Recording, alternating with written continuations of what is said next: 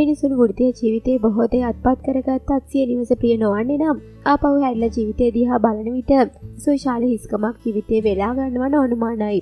හුස්ම ගන්න ජීවිත ජීවත් කරවන්නේ ඒ ජීවිත වටා සැරිසරණ මානුෂ්‍ය බැඳීම් සමගයි. ඒ හරා හැතිවෙන තෘප්තිමත් හැඟීම එකයි. ඉතින් ඒ වගේ බැඳීම් සපිරි කැදැල්ලක වංහුම් ගැන තමයි මේ විදිට ඔබට ගෙන එන්න හිතුවේ. සඳගල තැන්න ටෙලි සිතුව මේ වෙද මහත්මයා ඔබට මතක ඇති.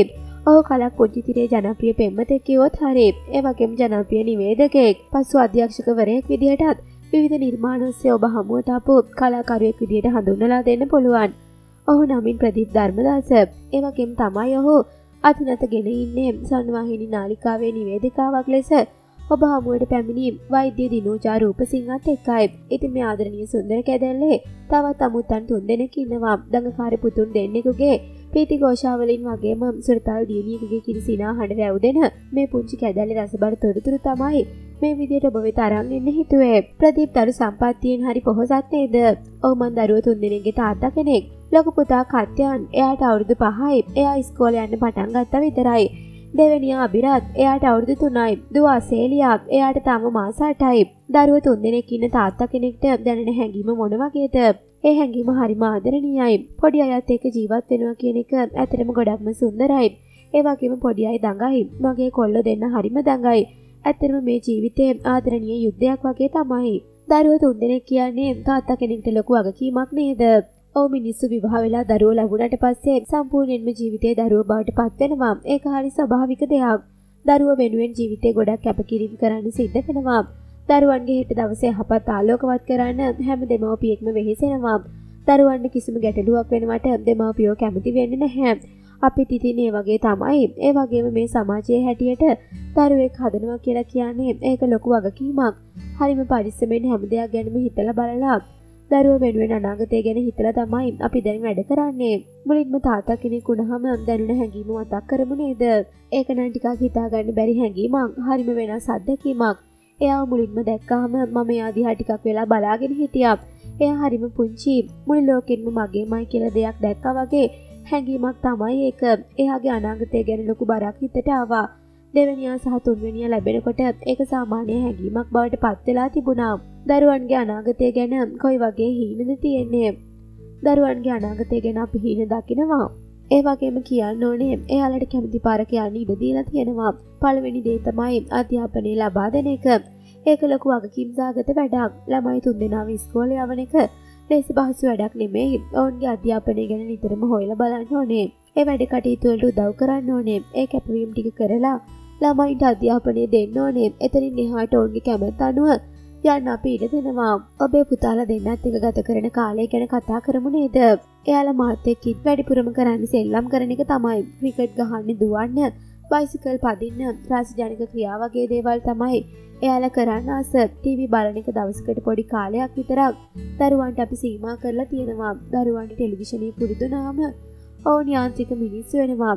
මාපියෝ ලෙහෙසියට පහසුවට දරුවන්ව ටෙලිවිශනයට හුරු කරලා තමන්ගේ වැඩටික කරගන්නවා. ඒ දරුවන්ගේ ජීවිතවලට ඒ හරහවන හානිය ඔවුන්ට තේරෙන්නේ පස්සෙ කාලෙදී. මම දිනූජත් වැඩිපුර මුත්සා කරන්නේ දරුවන්ව යථාර්ථය ජීවත් කරවන්න. දරුවන්ම වෙන වෙන ලෝකවලට දාලා වැඩක් වෙන්න නැහැ. අපි පොඩි කාල ජීවත් වනේ මේ පොළවේ. ඒ ජීවිත අත්දැකීම් දරුවන්ටත් දෙන්න ඕනේ. නැත්නම් මෙයාල පොඩි රෝබෝල වෙනවා.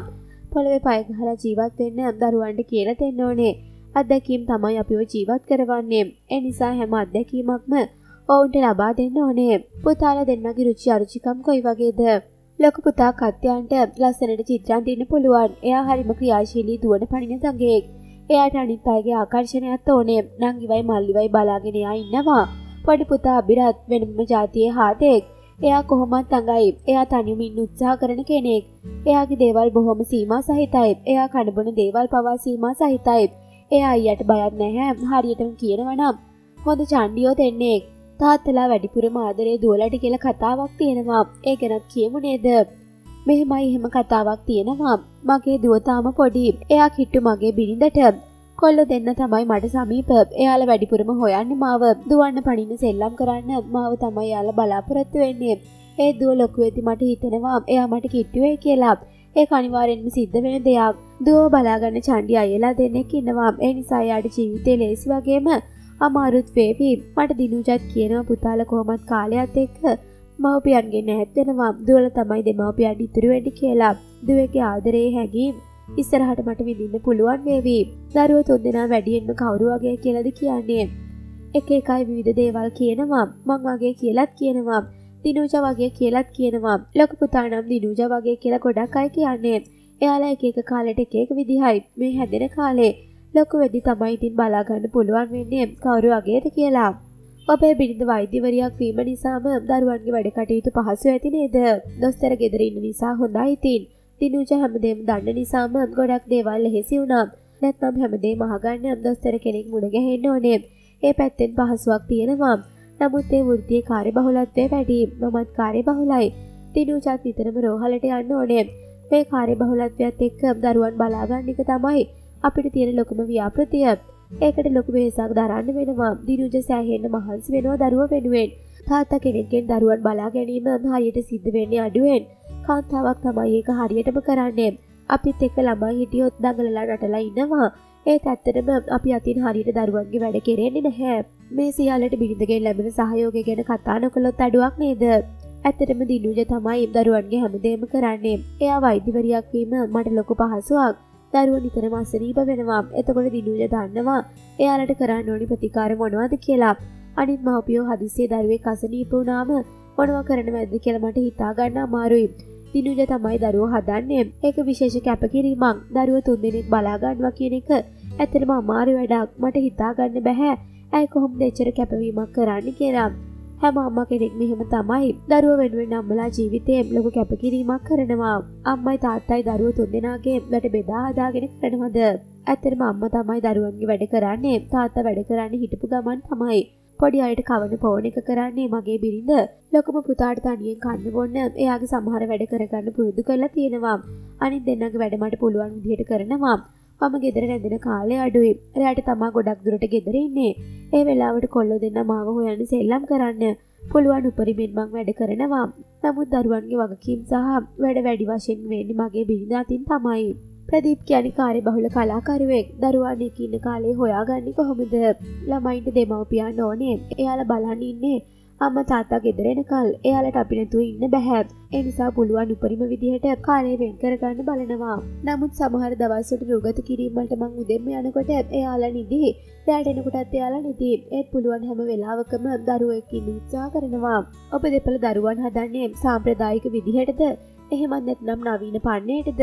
ළමයින්ට ඕන හැම මට්ටමක්ම දෙන්න ඕනේ. උදාහරණයක් විදිහට ඉංග්‍රීසි වගේම ළමයින්ට සිංහලත් කතා කරන්න පුරුදු කරන්න ඕනේ.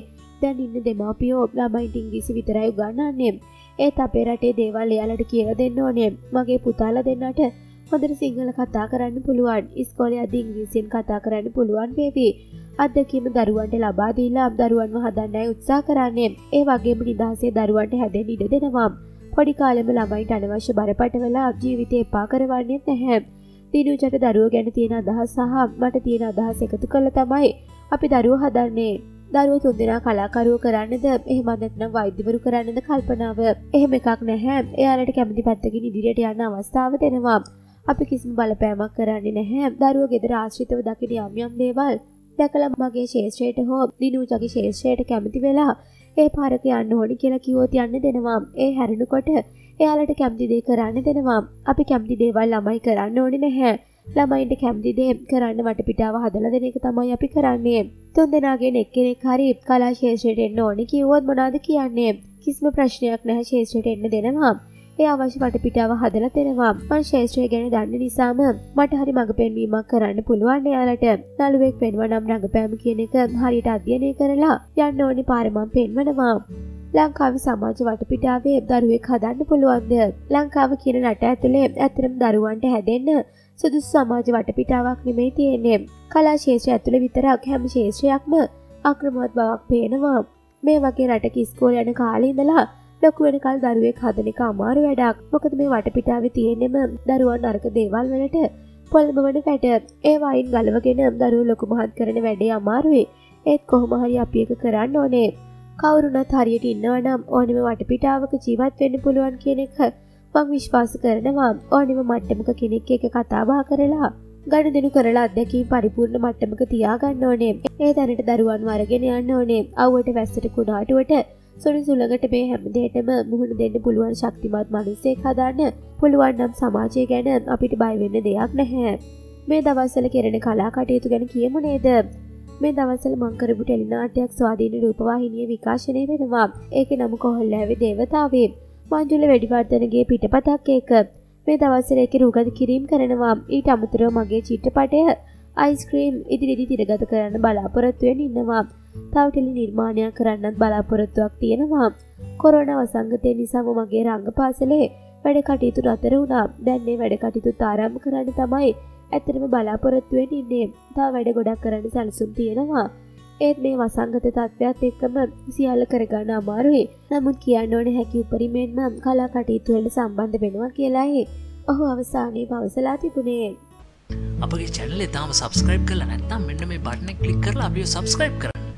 ඒවගේ මෙන්න මේ බෙල් බට්න ඇක්ටව් කළොත් අපේ චැනලට එකතුන්න නවතම් වීඩියෝ ගැන ඔබට එසනින් දැනගැනීම හැකයාව ලැබෙනවා.